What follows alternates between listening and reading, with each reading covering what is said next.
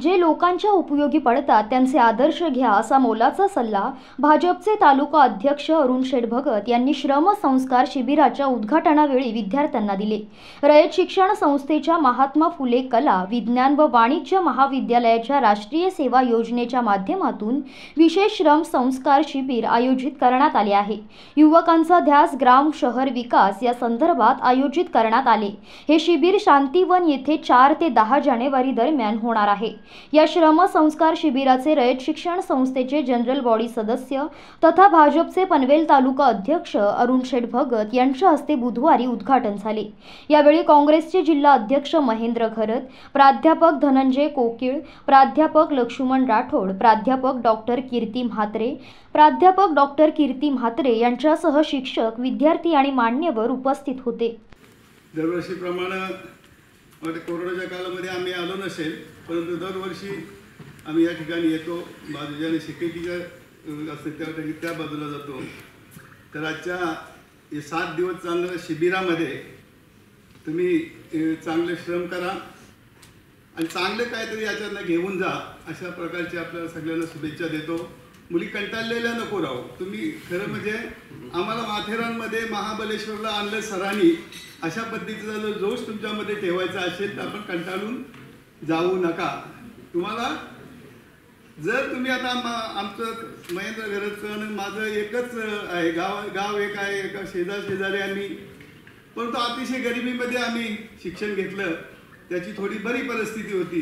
पण माझी तर त्याच्यापेक्षा तर एकदम बेकार परिस्थिती होती. कारण तर नऊ भाऊ आम्ही मग त्यांनी सांगितलं किती भाऊ असतात. आणि आई वडील. म्हणजे असे अकरा लोक खायला. आणि जेवायचं काय? फक्त भात शेतामध्ये पिकेल. अशा पद्धतीचा भात. जास्त पाऊस पडला कोसळला का? पण ते भात पण मिळायचं नाही. आता तुम्हाला किती लोकांना माहीत आहे भात? ते मला माहीत नाही. परंतु तुम्हाला सांगितलं पाहिजे की आम्ही जे शिकलोय भरपूर मेहनत करू शकलो. आपल्याकडं आता तुम्हाला आदर्श घेण्यासाठी कितीतरी लोक आहेत. माने डॉक्टर रामशेठ ठाकूर साहेब आहे आमदार प्रशांत ठाकूर आहेत आता भाषण ज्यांनी केलं महेंद्र शेठ घरे जे लोकांच्या उपयोगी पडतात त्यांचा आदर्श जर आपण डोळ्यासमोर ठेवला तर मला वाटते आपल्याला कधीच काही कमी पडणार नाही. का तर समाजामध्ये मदतीचा हात हे ते तिन्ही लोक व्यवस्थितपणे करत असतात आणि म्हणून आपण त्यांचा आदर्श घ्यावा. अशा प्रकारची सुद्धा एक विनंती तुम्हाला मी या निमित्त करीन. तरी आम्ही पण तुमच्यात मधलेच एक होतो. आम्ही पण खाली बसून ही सर्व भाषणं ऐकायचो. निश्चितपणे आपलं हे महाविद्यालय हे आद्य महाविद्यालय आहे. जसं आद्य क्रांतीवीर वासुदेव बलवंत फडकेंना आपण का बोलतो? त्यांनी क्रांतीची प्रेरणा ज्योत सुरुवातीला केली. त्याच्यानंतर अनेक क्रांतिकारक आले. रक्षाबेन मेहता यांचं सुद्धा घराणं हे या क्रांतिकारकांचं घराणं आहे. त्यांच्या त्यांचा जो वारसा आहे तो तसाच आदर्श वारसा आहे. आणि म्हणून या मी महाविद्यालयातून हजारो विद्यार्थी आमच्यासारखे गोरगरीब शिकले जे आम्ही एस टीला चालत यायचो. चालत जायचा चालत यायचा एस टी स्टॉपपर्यंत आपल्या स्टॉपपर्यंत फक्त गाडी यायची. आणि आमच्या गावांमध्ये अतिशय अत्यंत अडचणीचं शिक्षण असं आम्ही घेतलेले सर्व विद्यार्थी आहोत. जसं तुमचे सांगले का अनेक विद्यार्थी आज संसदेमध्ये जाऊन एका विद्यार्थ्यांनी भाषण केले. एक अभिमानाची गोष्ट. आपली एक दैदिप्यमान परंपरा राहिलेली आहे या महाविद्यालयाची.